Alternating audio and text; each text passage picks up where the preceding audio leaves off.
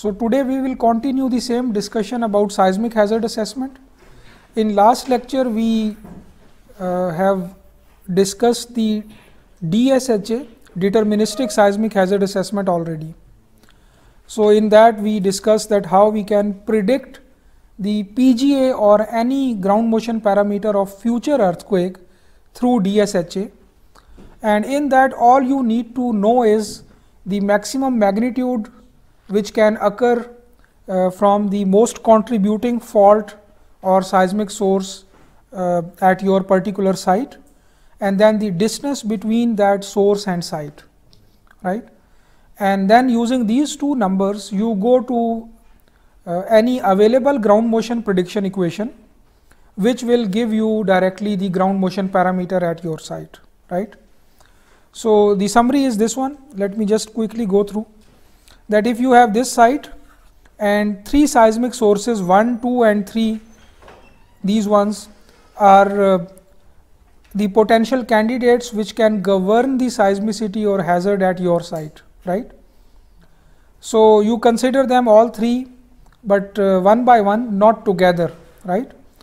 And then you have to find the maximum magnitude which each source can produce in future right and obviously that information will come from the analysis of past data.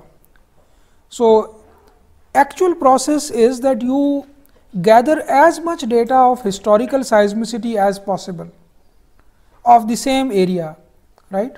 For example for this seismic source 1 you will identify all earthquake past earthquake which that source have already produced. So they their epicenter can be marked in a map which is called historical seismicity map.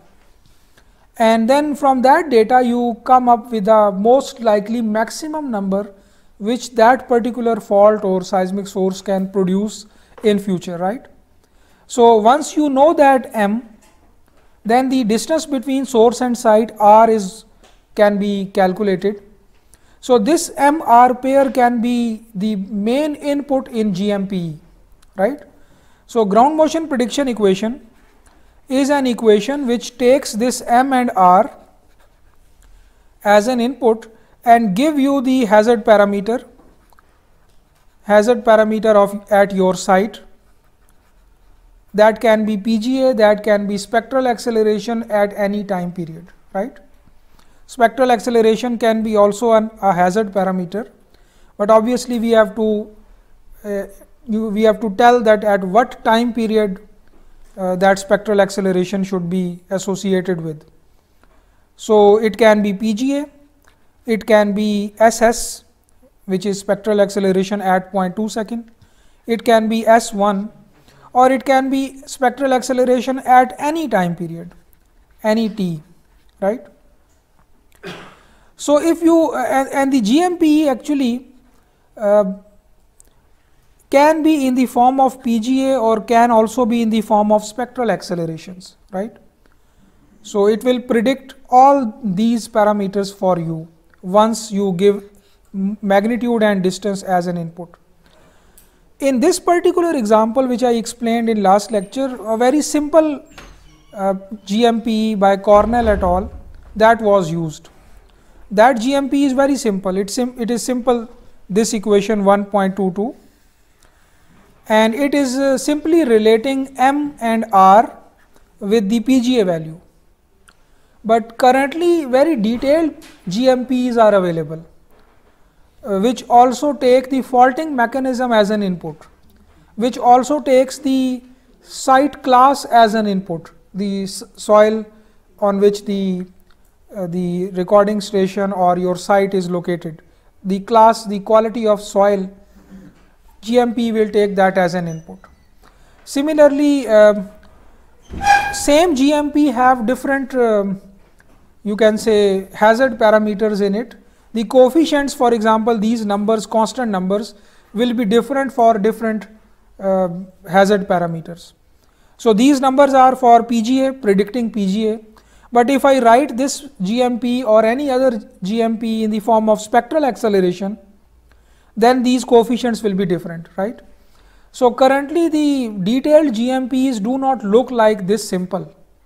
They are very long equations which take the effect of many controlling parameters including faulting mechanism, including the, uh, the site class and then the coefficients are general they will be different for predicting different hazard parameter.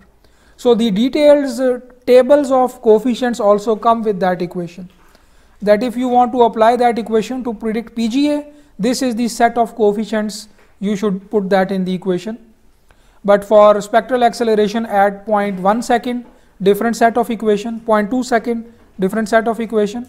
So, all up till like 5 second or 6 second which means that if you apply that GMP for all spectral accelerations one by one for the same site, you can plot the response spectrum of the future earthquake for your site using DSHA, right. Same thing you can also do for uh, PSHA which I will introduce today, right. So, you may not only predict PGA value at your site, you may also predict the whole spectrum of future earthquake uh, using DSHA process because the GMP available will be will be allowing you to predict any hazard parameter. It will be allowing you to predict the spectral acceleration at all time periods including the two standard uh, 0.2 second and 1 second right. So, it means that uh, this example is just one small subset of the detailed DSHA process.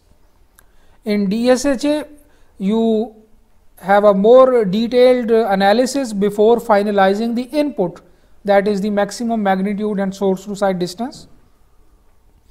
And then in terms of outputs also you may also predict PGA, you may also predict the whole spectral acceleration versus time period curve for your site and you may also in, and obviously SS and S1 will be including that that curve.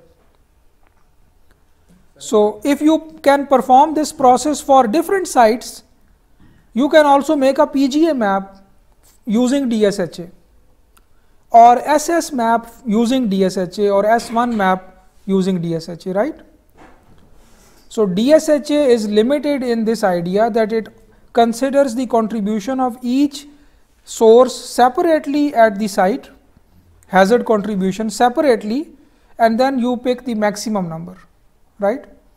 So, it does not take uh, into account the relative occurrences or activity rates of different earthquake, uh, different sources.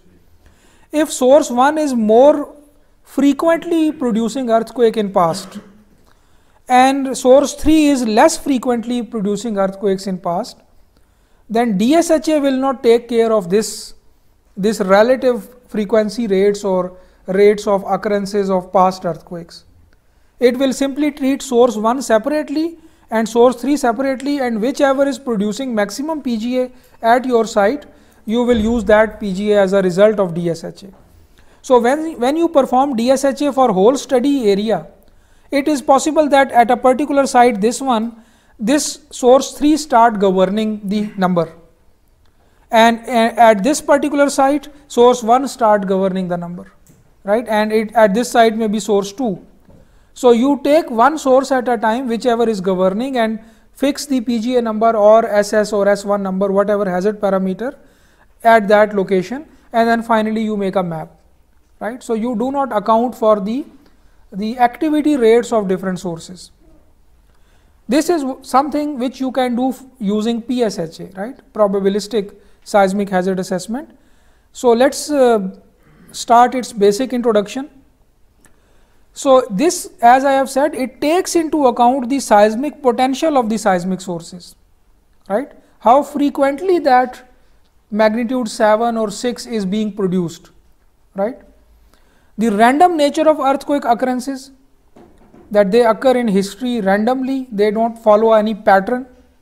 The random nature of the ground motion produced by these earthquakes, the damage potential of these ground uh, motions and the uncertainties involved at all levels of this process, right.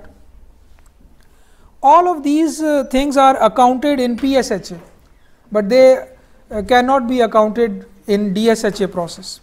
So, prior to the widespread of PSHA, uh, we used to have this deterministic method in which we go only for a single earthquake scenario. But in PSHA, we will not go for any specific scenario, any specific magnitude and any specific distance.